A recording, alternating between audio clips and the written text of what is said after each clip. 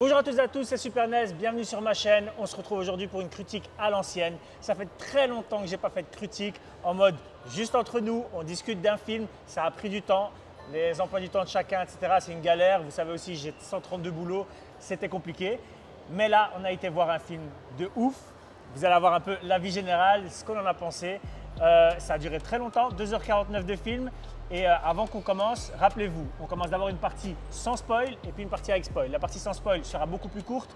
C'est plus important de dire juste le ressenti général et la note qu'on donnerait au film. Comme ça, après, on peut passer à la partie spoil où là, on balance la sauce. Et puis, euh, si vous kiffez la vidéo, n'hésitez pas, likez, partagez, commentez, abonnez-vous, faites quelque chose. C'est tout ce qu'on vous demande.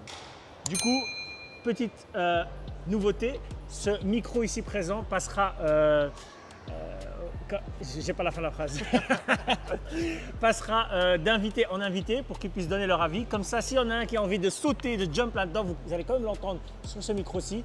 Et puis euh, voilà, ça va rendre la conversation un peu plus audible pour euh, ceux qui regardent la vidéo parce que j'ai déjà vu quelques commentaires où ils disent des fois ça se parle dessus, c'est compliqué. Donc ce micro servira à ça. Et puis ben on y va, hein. sans spoil. Et Alors, quoi, je me présente ou je parle directement du Ah truc oui, oui, c'est vrai, je ne vais même pas présenter mes invités, je suis vraiment désolé, excuse-moi.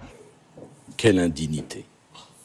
Du coup, ici à ma droite, j'ai euh, la légende elle-même, Nordine de Wiz, qui nous vient tout de suite de Thaïlande et repart euh, juste après euh, en Thaïlande. Arrête.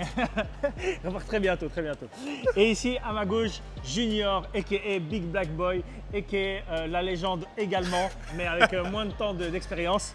et il a une chaîne YouTube, Yo. vous pouvez aller voir également. La chaîne YouTube, le nom Yo, what's happening here? C'est Junior Big Black Boy. Ça, j'espère que je crie pas trop fort dans Ah, le micro parfait. de la chaîne Sport for My Pitbull. Voilà, Si, allez si. voir cette chaîne, elle est incroyable. Vous pouvez peut-être ne pas mourir en vous faisant attaquer par un chien parce que vous saurez quoi faire. C'est là qu'il faut aller regarder ça, les gars, si. sur sa chaîne. John Wick, là, ils auraient dû regarder. Voilà, Hein exactement. vous avez vu Si vous avez vu sa chaîne, dans John Wick, vous ne serez pas mort. Ah, c'est la partie sans spoil. Voilà, la partie sans spoil, tu nous donnes ton, ton, Mon ressenti, ton hein. ressenti général, sans aller dans les détails, et une note que tu donneras à ce film. En fait, je dis pas, je dis pas de, de fait. Pas de mais je spoil, peux voilà, dire, mais tu peux donner un truc général. Ok, bon, euh, bon, déjà, euh, ah, que dire, que dire? Non, c'était époustouflant. C'était époustouflant, mais je pense que quand on va voir ce film, il faut, il faut vraiment, il faut savoir ce quel genre de film est-ce qu'on va regarder, parce que si on vient en mode euh, lambda et qu'on ne sait pas à quoi s'attendre, on pourrait avoir cette impression que ah, il y a beaucoup de, il y a beaucoup de ci, il y a beaucoup de ça, etc. Mais quand on sait à quoi s'attendre, eh bien vraiment, on en a plein les yeux et c'est vraiment ces buffets à volonté et on mange et on mange et on mange et il y a toujours de la place pour manger encore. hein. Il n'y a pas d'indigestion dans ce film. Non, franchement, c'est euh, c'est tellement travaillé et on ne peut qu'avoir du respect pour chaque scène. Ils auraient pu faire quatre films euh, en se servant de ce seul et, seul et unique film. Et franchement, voilà, ça, ça- ça va de tous les côtés. C'est haut en couleur et en même temps, c'est très sombre et macabre. En même temps, c'est non, c'est moi, moi, j'ai vraiment, j'ai j'ai Tu avais vraiment bien pensé quoi des, des trois premiers, toi, à la base? Ben, les- mais bon, après, c'est. euh, comment dire Les actions, voilà, c'est toujours plus ou moins les mêmes types d'actions. Mais, euh, mais ça s'améliore au, au fur et à mesure des épisodes. Et puis je crois que ce 4-ci, après, nous aussi, on, on- on commence à prendre de l'âge. Donc est-ce, qu'on n'a pas un regard fort porté sur la technique? Parce que Ah ouais. quand tu observes vraiment la réalisation, comment les scènes sont tournées, alors t'applaudis, t'applaudis, tu te dis vraiment, ouais, ils, ils ont grave évolué. Mais maintenant, est-ce que quelqu'un lambda va remarquer cette évolution? Ça, c'est une autre question. C'est une autre question. C'est vrai, c'est vrai. Et tu donnerais une note de combien si euh, tu devais en donner une? Ça ne veut, ça veut pas forcément dire que c'est ça la note finale, c'est à chaud ouais, aussi. ouais, hein, à euh, chaud. Non, mais à chaud, euh, allez, je vais mettre un, je vais mettre un 8,5 sur 10. huit et demi sur 8,5 dix. sur 10. Ok, ok, Ouais. ça va. Nordine Bah, franchement, j'ai vu. Parle- Attends, Ouais, plus j'ai près vu- et plus fort. Ouais, donc j'ai vu les 1, le 2 et le 3. Et en fait, on s'est posé même plusieurs fois la question entre nous est-ce que c'est le même réalisateur? Parce que là, le level, il est hop, énorme. Le son, tuerie. Les chorégraphies, tuerie. Et les images sont magnifiques. À mon avis, là, j'ai dû changer, comme, comme on disait avec, euh, avec Yves, il a dû changer de chef, Directeur de euh, directeur, ouais, directeur photo. Mais c'était beau. Tout- tous les moments qui étaient calmes, posés, les, les paysages, les lumières, c'était superbe. Et les combats, chaque fois impressionnants. Chaque fois des petites, euh, des petites surprises dans chaque combat. Hmm. Donc euh, ouais, franchement, top. Tu mettrais quoi comme note? Facilement 9. Neuf? Franchement 9, ouais. Ok, ok. Ouais, ouais. Moi, euh, pour vous dire, euh, pour moi, c'est le film d'action ultime. Ça veut dire que euh, ça fait longtemps que j'ai beaucoup de mal euh, à regarder certains films d'action, surtout les films hongkongais qui sont un peu trop dans les tirages de câbles, les mecs s'envolent, etc. Avant, c'était deux types de films différents. Tu avais le film où c'était tout du vrai combat, et puis tu avais un peu quand ça s'envolait en mode tigre et dragon, quand c'était très euh, euh, historique, etc. Et maintenant, ça mélange un peu trop les deux. Et donc, quand je regarde des films, des fois, je me dis, mais est-ce que. Enfin, tu sais, avant, tu disais, c'est sûr, c'est Jackie Chan qui l'a fait. Maintenant, tu dis, est-ce que c'est vraiment le gars là qui le fait? Et donc, j'avais perdu ce truc-là. Et c'est pour ça qu'on. Moi, je trouve qu'on regarde moins de films hongkongais qu'à l'époque, où avant, on regardait tout ce qui sortait parce qu'on se disait, ça va être juste. En termes de chorégraphie, ça va être incroyable. Et ici, en fait, on nous l'a donné en plus.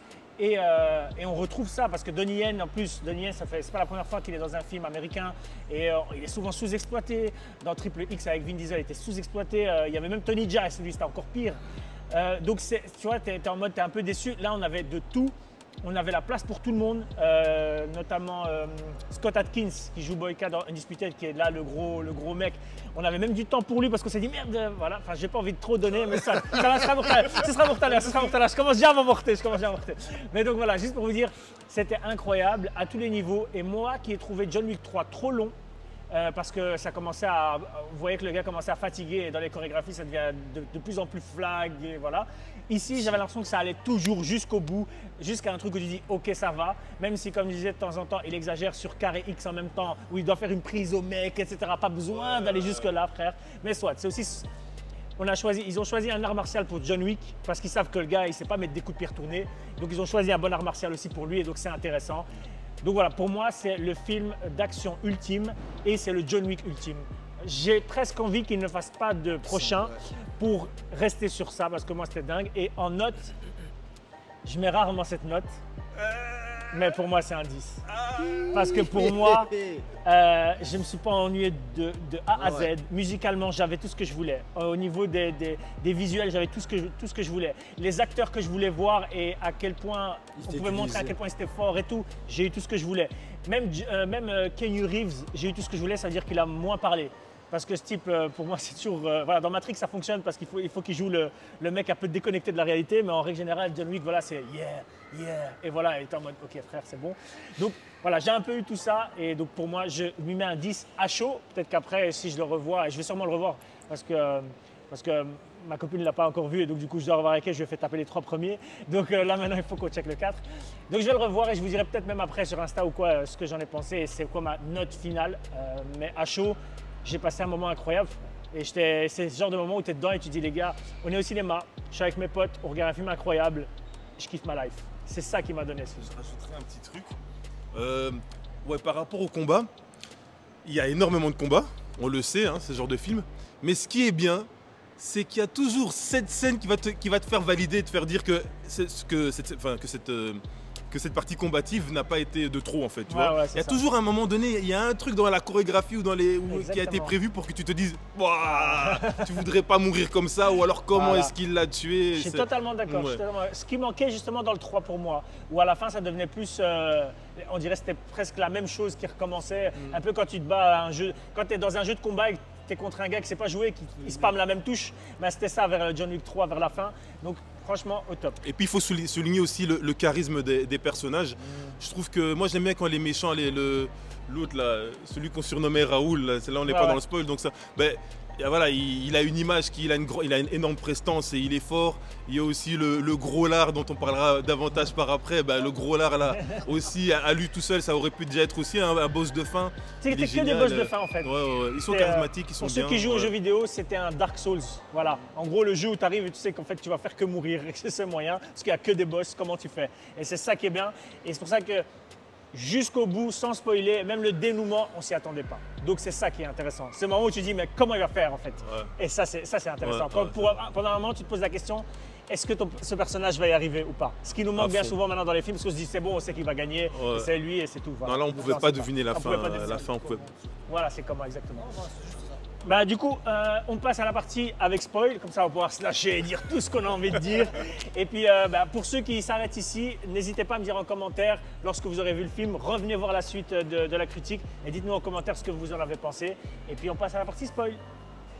Ok, spoil. Si, si. spoil. Bon, tu veux commencer le spoil ou. euh, Euh, je veux commencer un petit peu le spoil. Ça- ça-. On peut, on peut comment dire? On peut. euh, je sais qu'on va aller dans tous les sens, mais euh, il y a un, un truc que j'ai envie de dire, c'est euh, en dehors de tous les aspects qu'on a vus, que ce soit dans la, la- la photographie, tout. Il y a un truc qui moi qui m'a marqué, c'est c'est comme ça qu'on écrit des personnages, des méchants ou des personnages d'action. C'est-à-dire un, Scott Atkins qui joue le gros, qui est d'ailleurs hyper bien fait, c'est incroyable. Le fait qu'il le joue, bah moi je voyais ce qu'aurait dû être Wilson Fisk euh, de Spider-Man, le méchant Spider-Man et de Daredevil.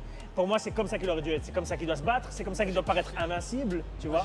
Moi, par contre, j'a- j'avais kiffé le fisc de Daredevil. Ouais, mais ça manquait. Pour moi, moi je l'avais adoré aussi. hein. C'est juste, pour moi, ça manquait l'aspect dans le combat. Tu sais, quand tu joues un Spider-Man sur PS4 ou quand tu regardes les dessins animés, il y a un peu plus de combat de Fisk. Ok, dans. Daredevil, Oui, c'était oui. une ou deux pêches. C'est ouais, quand il avait attrapé, c'était fini, tu vois. Là, il y avait ce truc de. Quand même, il était agile pour un gros, tu vois. Ça, c'était intéressant. Ouais, c'est pour ça que je vous demandais, mais en fait, parce que moi je, je connaissais pas ce personnage-là. Je te connaissais pas vraiment Est-ce qu'il était vraiment gros ou bien c'est un gars qu'on a mis une prothèse? Ouais. Ben ça, c'est- ça c'était important. La deuxième chose, c'est la meuf. C'est comme ça qu'on met un personnage féminin qui doit combattre des personnages masculins. Ça veut dire que dans son mode de combat, Quand elle occupe à monter sur Ouais. son voilà, exactement. En fait, c'est en mode, t'es pas aussi forte, mais donc du coup, comment tu vas le faire pour, pour les battre? Et donc l'agilité, la précision et l'acharnement, pour moi, c'est ça. pas, voilà. pas, pas, et là, c'est excellent. Et c'est comme ça qu'on écrit du coup une Black Widow. C'est comme ça que pour moi, ça doit être écrit. Donc il y a tout un truc où Marvel devrait presque regarder ça pour se dire, voilà, c'est comme ça qu'on fait. tu vois. Donc pour moi, ça, c'était un truc qui changeait beaucoup dans, dans le film. Ouais. Euh, alors, par rapport au gros lard, là, le- non, mais parce qu'en fait, c'est. Scott Atkins. Ouais, C'est Boyka dans Indisputed. ouais, qui- qui Boyka, Boyka. Yuri Boyka. Exactement. Mais en fait, moi, si tu m'avais pas dit que c'était lui, j'aurais pas su. Hmm. Donc, alors. euh, non, mais parce qu'en fait, le truc, c'est quoi? C'est que moi, moi, je kiffe cet, cet acteur, enfin, dans, dans ses scènes de combat. Donc, à partir du moment où tu me dis que c'est lui, eh ben là, je regarde avec des étoiles. Et ça se confirme effectivement, c'est, il fait des scènes, des, scènes, des scènes incroyables. En plus, quand il joue le gros lard ou quand il joue vraiment le combattant, dans les deux, dans les deux, euh, Dans les deux rôles, ça ouais, dans les, fonctionne. ouais, dans les deux profils, ça fonctionne su- su- super bien. Maintenant, moi, si tu si on m'avait pas dit à l'avance que c'était lui, les, les choses que j'aurais. Là, j'aurais peut-être envie de critiquer parce que je me dirais, mais d'où un gros lard, il est aussi fort, il est aussi euh, flex, agile, tout ça, tu vois. Je me dirais aussi, d'où un asthmatique, il est aussi endurant. parce que ça, c'est vrai que c'est bien dans le personnage, il est asthmatique, tout ça, mais putain, tout ce à quoi il résiste, tu te fais à un moment donné, Hmm, je veux bien que Ah c'est. John Wick le film, mais. hmm, Ah bah, tu sais, Euh, je pense comme toi. mhm. Mais c'est ouf parce que hier, j'ai regardé euh, une vidéo sur Facebook d'un gros qui faisait du parcours. Et le mec Ouais. tapait des saltos. Et j'étais en mode, oui, en fait, on est dans cette ère aujourd'hui où c'est possible. Ouais, tu a- vois a- Mais ça, même dans le breakdance, on a déjà été choqué Ah de oui, bien des- sûr, l'autre qui faisait des vrilles. Il y avait un, y avait Ouais. un Asiate qui a été gros qui faisait des vrilles. Tu étais en mode, mais comment c'est possible tu vois Ouais, c'est vrai. Donc c'est possible. Et ça me fait penser, excuse-moi, mais Mhm. je sais pas si vous avez joué au dernier Tekken. Dans les derniers Tekken, il y a un gros comme ça qui Ah non, combat comme lui, les jambes, tout. Donc Ah. je, vous- je vous mettrai un extrait rapide juste pour que vous captiez. Mais Ouais, maintenant Et là, il n'y a à pas les. Et là, une il a, de il a rien du tout comme ça. Ouais. Ça arrive que j'écrive après flemme. je ne fais pas. ah, je. Excellent. Vas-y, tu disais? Euh, non, donc voilà, ouais, pour le gros, donc euh, ouais, ouais, ça, on peut le prendre très très bien et très très mal. Ça dépend Ah. avec, avec quel état d'esprit on aborde euh, ces scènes-là. Euh, la femme, on en a parlé, effectivement, euh, c'était très réaliste et tout ça. Pourquoi elle tousse Non, non, non, non. Euh, et, et voilà, mais. euh, ah bon, bon, moi il faut que je dise un truc par rapport aux animaux là, par rapport aux chiens. Ah ouais. Ah, parce que vrai le- que là, ouais. le, le gars Là. qui, qui- dresse des chiens, il voit, il capte. Mo- Moi, franchement, pendant tout le film, j'étais pas à l'aise. Parce que c'est clairement le genre de film où, à un moment donné, il va falloir qu'on bute ce chien et qu'il y ait une petite scène triste en mode bah ouais, ben euh, là, ils pouvaient pas tout terrasser, tu vois. Ouais. Donc là, ils ont respecté les passionnés. Mais déjà dans le 3, hein, je sais pas si tu te rappelles, Ali Berry, elle avait deux chiens avec elle. oui, il y ouais, avait, bah, c'était de deux Mali- chiens deux. Ouais, deux Malinois aussi. Toujours, Ouais. toujours. Euh, bah, en fait, le truc, c'est que euh, dans le 1, il y, a un- il y a un chien qui rentre dans, dans l'histoire. bah, Oui, c'est vite, moi- vite moi- mort. moi- ouais, il est vite, il est vite mort. Bon, là, je trouve que ça avait un sens. Ensuite, quand on voit, quand on voit débarquer le- le- l'espèce de Pete Blue Nose là, qu'il a sorti Ouais. d'un chenil, où il y avait, Ouais, d'un chenil, c'est ça, c'est ça. Ouais, il a sorti, c'est comme ça qu'il avait adopté. ben, euh, allez, malgré que je suis un passionné de la race et tout ça, je me disais, mais c'est quoi la plus-value? Enfin, pourquoi est-ce qu'ils ont mis euh, ce chien et même cette race-là Il est pas euh, tu utilisé, vois? en plus. Ouais, il est quasiment pas utilisé. Et euh, On même le en- voit à la fin du film d'ailleurs. Oh, Ah ouais, dans le, ouais, dans le 4, on le voit au début et à la fin, juste pour un clin Ah, d'œil. ouais, ouais. Peut-être simplement pour un un effet affectif du premier. Dans comme- Dans, dans le premier, en fait, il n'y avait pas de combat ni rien par rapport à ce chien, c'était vraiment de l'affectif. Peut-être qu'ils ont voulu faire un, euh, un rappel affectif, c'est peut-être qu'ils ont, ils ont Ça mis aurait dû ce, chien. utilisé aussi ici, à mon avis. C'est ça aussi peut-être le manquement. Euh, ici, pour le coup, ils ont vraiment utilisé le chien pendant tout le film. Mm. Même limite, je répète, moi en tant que passionné, je me suis même dit, c'est bon les gars, euh, on a mis assez de scènes de chien, ils vont commencer à dire, ouais, encore ce foutu chien, tu Tu as vois. stressé quand il a ramassé la voiture ou pas? Ouais, mais attention, j'ai stressé tout le temps. Ouais, mais cette fois-ci, le chien était un partenaire de combat. Donc c'était, tu vois, c'était pas. d'ailleurs, c'est bien, parce que par rapport à c'était ça- vraiment un partenaire de combat. Par rapport à ça, justement, euh, toi qui, qui, qui, qui, qui t'y connais dans, dans tout ce qui est chien et tout, est-ce que, parce qu'on utilise les malinois parce qu'ils sont, ils sont forts là-dedans, etc., Mhm. mais est-ce que tu penses que c'est faisable avec l'autre chien, le Blue Nose donc, Ouais, les, les, les, les pits, les staffs. Non, c'est clairement faisable avec les pits et, et- et les staffs. Mais je pense qu'ils ont voulu aussi donner une réponse. euh, Allez, euh, le berger malinois, il est. il- le berger malinois, le berger allemand, mais actuellement, dans Ouais. cette ère actuellement, c'est vraiment le berger malinois. Il est fort utilisé dans, partout dans le monde Ah, entier. hein. C'est un, Ouais, un chien mais ouais. Et même les Américains, je veux dire, ils travaillent avec ce genre de chien. Donc le mettre à l'honneur dans un film américain, c'est pas étonnant. normal. Et puis, c'est assez réaliste. Et, ensuite, ben, c'est renforcé par le cinéma, bien entendu. Euh, quand je vois les scènes, je me dis, ben, je vois bien comment ils ont pu faire euh, chaque, chacune des scènes. Mais euh, voilà, on accentue vraiment l'effet de ah, je te mange, je te, gro- je te, je te détruis. euh. D'ailleurs, petit, petit ouais, c'est- trivia important, les deux euh, du, du, du troisième film avec Ali Berry, c'était c'est trois à la base en fait, pour, ils, interchangent, Mhm. et ils sont venus les chercher en Belgique, petits, et ils les ont élevés pour le film. Donc ça veut dire que les gars étaient vraiment à fond dedans. Donc c'est aussi peut-être cet aspect que, comme tu dis, voilà, c'est le chien qui est souvent utilisé, que les gens viennent prendre pour ce genre de truc pour le cinéma, etc. Il y a peut-être aussi une agilité que tu penses que le- un staff ou quoi n'aurait pas? Non, en fait, un pit ou un staff pourrait tout faire. Après, après le truc aussi que je me dis, ah, je je sais pas si c'est voulu, hein, mais tu sais maintenant quand tu commences à remontrer des pits et des staffs qui attaquent des humains, ça continue de noircir l'image ouais, de le, chien dangereux. C'est vrai qu'avec le Malinois, on se dit juste, ouais, bah, c'est le, bon chien police, du policier. chien- ouais. ouais, voilà. Et puis on l'a même vu avec dans le film avec, euh, euh, avec Will Smith. euh, Juge une légende. Ouais, voilà. Ben, C'était aussi. on- ouais, après, ça fait un peu comme, comme bis, bis repetita. Ouais. Ouais. Mais, mais voilà, ouais, non, ça, ça- ça passait bien et tout ça. Oui, avec les scènes de voiture, ouais, parfois il se fait presque percuter ou jeter, comme ça, t'as l'impression qu'il va crever. Non, moi, pendant tout le film, j'étais un peu stressé. J'étais en mode, euh, vas-y. Kiffe pas trop, t'attaches pas trop parce qu'ils vont buter ce chien comme ça, mais finalement ça va, le chien final, il résiste, respecté, ouais, il respecté. respecté. Il a même eu sa vengeance, Ouais, il, a eu, ouais, ouais. il a tout eu eu. son sarcasme, il a tout eu. Le il a même pu pisser sur le mec qui l'avait frappé et tout. Donc il a, il a Ouais, tout eu, il a tout eu. Les passionnés des animaux, ils vont avoir leur, leur, leur petit kiff dans. Ouais. Ok. Euh, toi, d'autres par rapport à ça. Non Mais euh, un autre aspect qui t'a qui t'a marqué, que tu aimerais mettre en avant aussi? Franchement, c'est la, la beauté des images. Donc il y a des plans, on l'a dit plusieurs fois, c'est des fonds d'écran. Ouais. C'est vraiment des fonds d'écran, des landscapes magnifiques. Et pour moi, la plus belle scène, c'est la. Allez.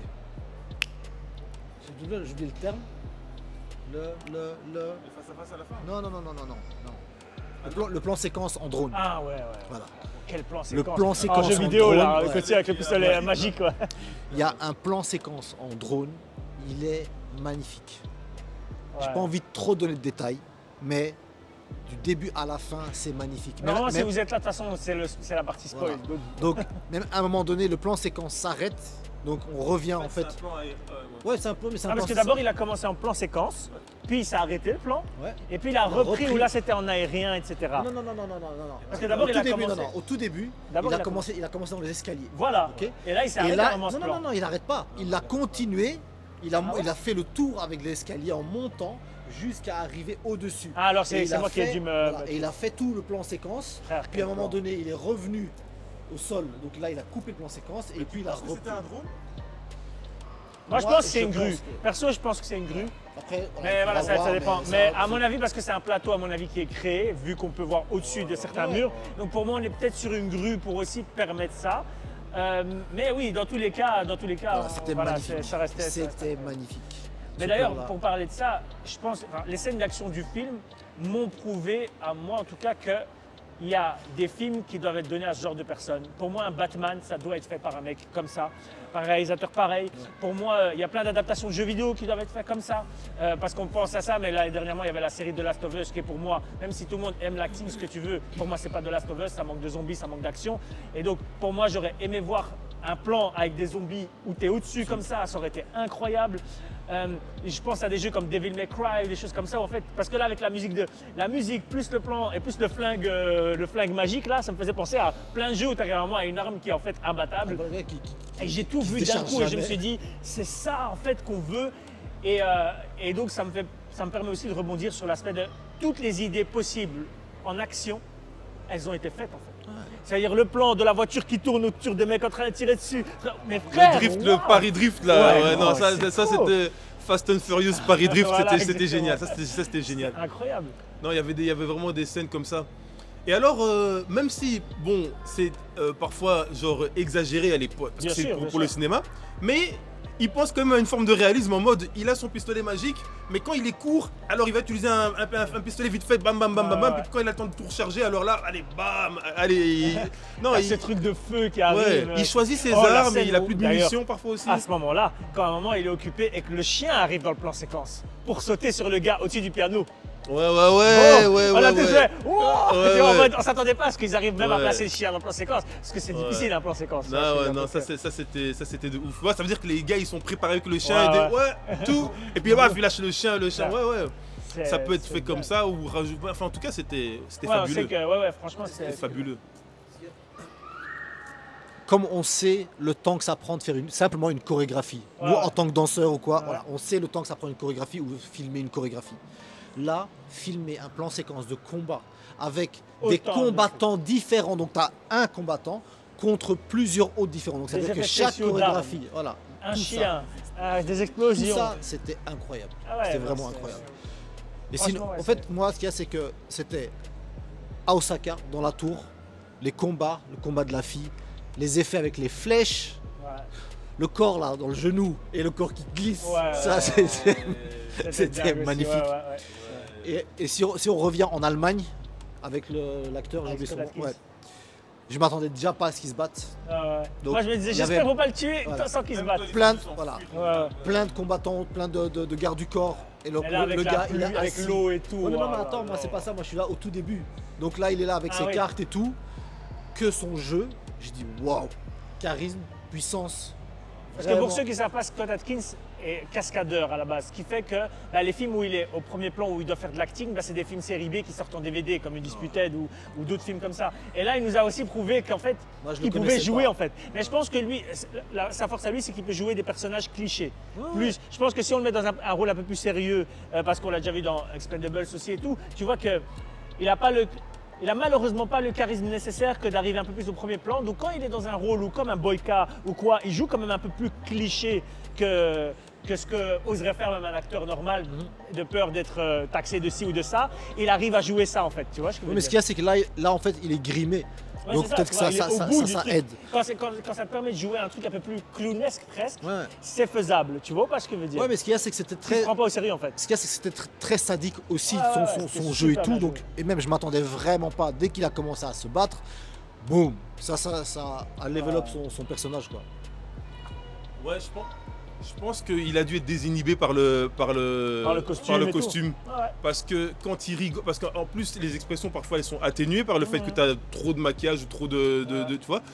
Mais là, il donne à fond à chaque expression et comme tu as dit au début, avant même qu'il y ait des combats ou quoi, c'est déjà il joue son rôle à mort et, euh, et je pense qu'il est un peu désinhibé. Ouais, mais Bon, c'est ça. en hein. plus, comme c'est un pratiquant d'arts martiaux, je me dis qu'il doit peut-être avoir, peut-être, hein, je sais pas, hein, Mm. un peu de pudeur qui fait que, comme tu dis, euh, bah, parce que c'est vrai que moi j'ai vu plusieurs films de lui où quand tu regardes, tu c'est pas un C'est bon acteur, pas tu sais, pour moi, c'est le même système qu'un danseur. Un danseur, bien souvent, n'est pas acteur. C'est pour ça que dans les step-up, les personnages principaux ne sont pas danseurs à la base parce qu'on a besoin qu'ils actent, même s'ils sont éclatés euh, tout autant. hein. Mais C'est pour ça que je pense que aussi les artistes martiaux qui sont cascadeurs, bien souvent, pour jouer l'acteur, c'est un peu plus compliqué. C'est pour ça, et on leur donne bien souvent pas forcément leur chance, tu vois.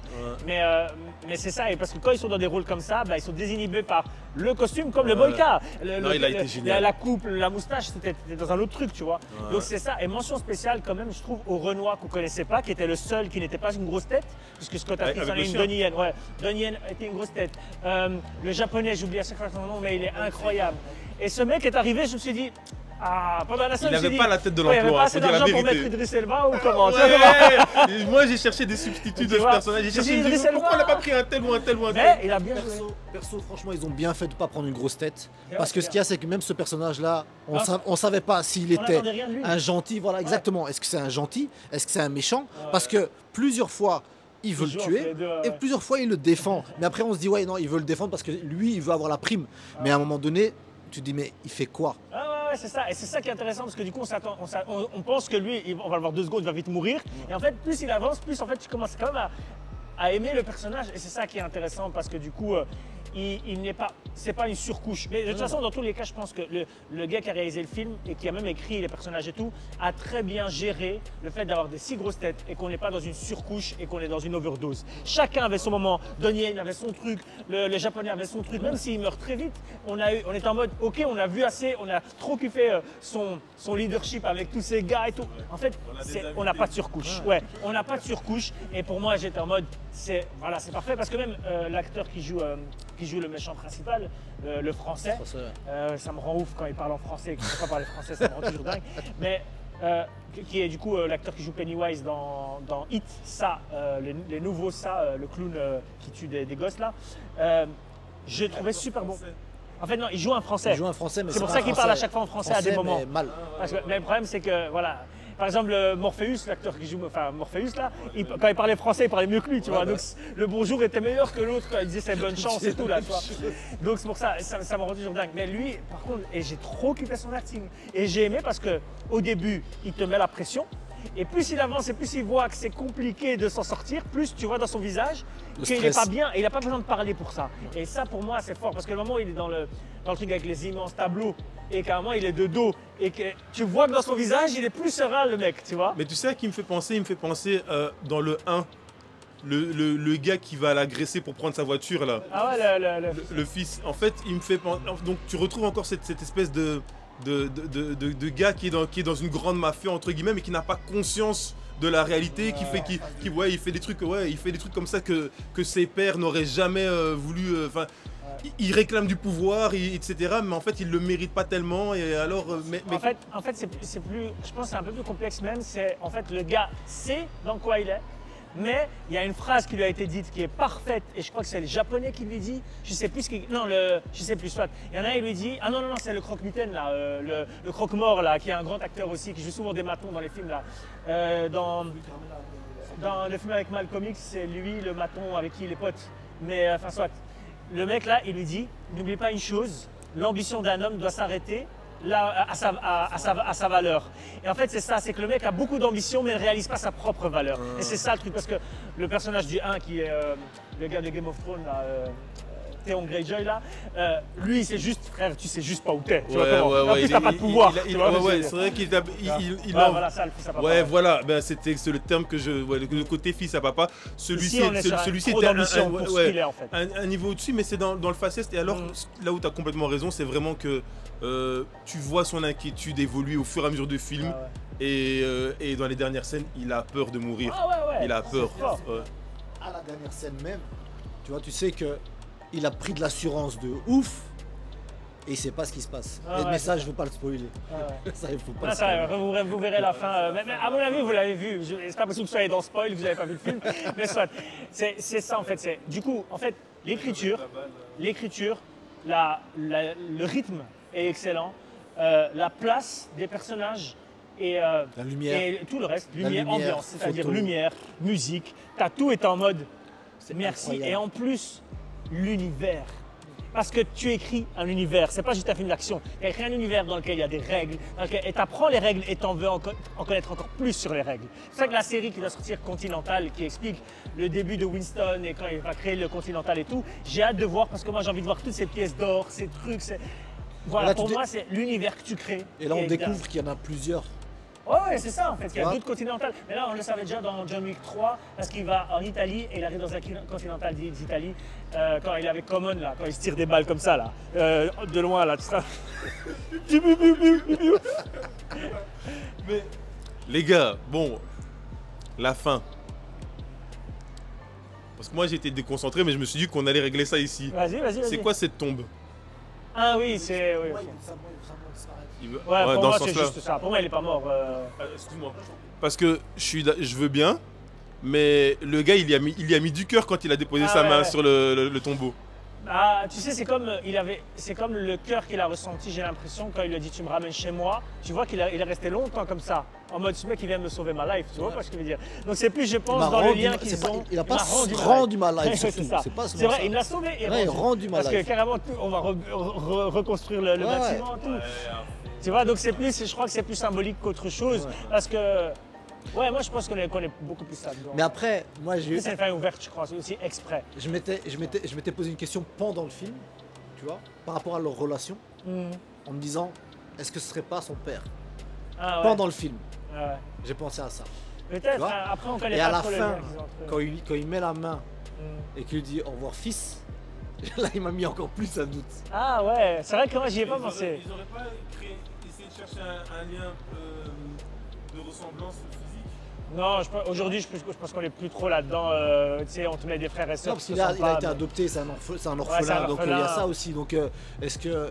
C'est vrai que leur lien il est, très, il est très très très très fort, beaucoup plus même qu'avec tous les amis qu'il a. Mais Ouais, je sais pas en tout cas, mais, mais en tout, je sais pas vers où si vous voulez encore continuer. Mais pour moi c'était juste pour la scène post-crédit qui annonce un possible John Wick 5, peut-être avec John Wick Non, mais il, ou a- pas. il est, il, est, Mais- il est en proposition là. Ah, tu, tu es sur le projet J'ai vu, Il non, est sur j'ai- le projet. j'ai vu sur internet Merci à qu'il SMS. était- Non, parce que moi j'ai vu que parce que le film fait tellement un grand carton qu'ils veulent en faire un et que, et que Keanu Reeves a dit qu'il le ferait seulement si c'est avec ce- le même réalisateur. Sinon il le fait pas. Donc je pense qu'ils sont. il y a- Voilà, il y a quelque chose. Mais en tout cas, la fin qui, qui dit que la, la fille du japonais doit euh, se venger et tuer Donnie Yen. Et on voit qu'on ne sait pas ce qui se passe. Moi, en tout cas, ça me donne envie de voir. Mais encore une fois, je vous le dis, si on peut s'arrêter là, même si on l'a jamais cette suite, ça me va très bien. Ouais, si ça s'arrête là, c'est pas grave, mais s'ils en font un 5, ça va être très très très très, Très chaud, hein. de- de Parce que là, il faut vraiment innover. Alors, tu dois repartir dans le casting aussi, tu dois dans le scénario. Bon, c'est jamais des scénarios de dingue non plus, ouais. hein, mais euh, il faut quand même re- refaire de la matière et tout ça. Pour moi, pour moi, le seul Ça moyen être- de refaire celui-là, c'est ce que moi je croyais qu'il allait se passer ici. se passer ici, c'est euh, il faut aller tuer les 12 de la table en fait. Ah, ça, ce Pour sera moi, un truc c'est de ça. dingue. Et que tu nous mets Ouais. 12 énormes têtes Ouais. et que c'est en mode John Wick là maintenant, le seul moyen pour lui de s'en sortir, c'est. Mais après, je sais pas, hein, parce que pourquoi, mais soit. euh, c'est qu'il doit tuer euh, les Non. 12 de la- Parce qu'ils Ça- vont tuer la, la fille, peut-être, et que lui, il se sent redevable, et qu'il doit tuer les 12 de la table. Et tu as vraiment ce truc des 12 travaux d'Hercule. Ouais, gars, ouais, non, ça, ce serait- chaque personne, tu vois. Ça, ce serait Donc, génial. euh, parce que aussi, il y a un truc qui a, qui a à voir aussi, c'est il y a un peu cette théorie qui est un peu John Wick. Est-ce que ce serait pas un- un- une analogie pour Jésus? Parce qu'on a beaucoup ce truc de- de- d'analogie très euh, chrétienne, même là où il meurt, quand il meurt devant l'église euh, Sacré-Cœur, euh, tout cet aspect de, de rédemption qu'il n'arrive pas, etc. Et là, les douze, c'est un peu les douze apôtres. Ouais, ouais, tu vois, et donc il y a un peu ce truc de peut-être c'est Jésus qui, doit- qui vient, et tu vois, enfin, il y a peut-être ce truc-là. Oui, oui, c'est en latin, c'est en. Tu vois. Donc il y a peut-être ce truc de. On n'a pas fini avec les apôtres, on n'a pas vu les apôtres. Tu vois. Les ouais. On n'a pas vu les, ap- vrai, les c'est apôtres. Donc euh, il y a peut-être ce truc-là, tu vois. Après, il y a- il y, a beaucoup- il y a- il y a beaucoup d'armes dans leurs églises. Là, T'as vu avec les Russes, avec les la dernière fois. ils- ils bénissent les, les armes. Enfin voilà, moi je- le film, il nous a fait passer un très bon moment. Je pense qu'on a kiffé. Est-ce que vous avez encore un truc sur lequel vous voulez apporter Peut-être que. Voilà, sait moi, ça va. Juste merci de ne pas avoir tué le chien. Ouais, ouais. Voilà, je pourrais rassurer des gens à la limite à l'avance. Exactement. Et euh, voilà. Non, franchement, le film, chapeau. Ça faisait longtemps que j'avais plus eu un film d'action où j'avais kiffé tout. Vraiment tout. Ouais. Et que, la, et que la, la scène finale me surprenne. Parce que moi, moi, moi, la scène finale, quand on y était, pour moi, ils allaient tous les deux, au lieu de se tirer dessus, le flinguer lui. Ouais. Moi, c'est Ouais. ça- c'est à ça que je m'attendais. euh, Donc, là, ça- sont- ils en sont bien sortis. Voilà, ça moi, fait du bien ah, d'être à nouveau surpris d'une fin. ça, Exactement. Maintenant, le problème, c'est qu'on a vu tellement de trucs qu'on s'imagine tellement de possibilités de fin que si là, tu nous surprends, c'est que c'est vraiment fort. Ah, c'est vrai, c'est vrai. vraiment fort. Bah, pour moi, même chose. J'ai passé un super bon moment et euh, ce, ce film aura été euh, une excellente surprise. Je suis très content de reprendre la critique sur ce film-là. Parce qu'il y a plein de films où des fois ah, tu dis ah putain, ah, ça saoule. Et donc euh, là, celui-là, vraiment, j'ai voilà, le kiff ultime. Et puis encore une fois, merci au White Cinema de nous permettre de voir ce film-là dans une ambiance parfaite qui nous permet d'en discuter encore une fois ici euh, avec vous. Et puis ben, on se retrouve pour une prochaine vidéo très vite. Merci à vous les gars. Et puis à la prochaine. Likez, commentez, partagez, abonnez-vous. Et puis comme dans toutes mes fins de les gars, ici, et on dit tchuss ensemble.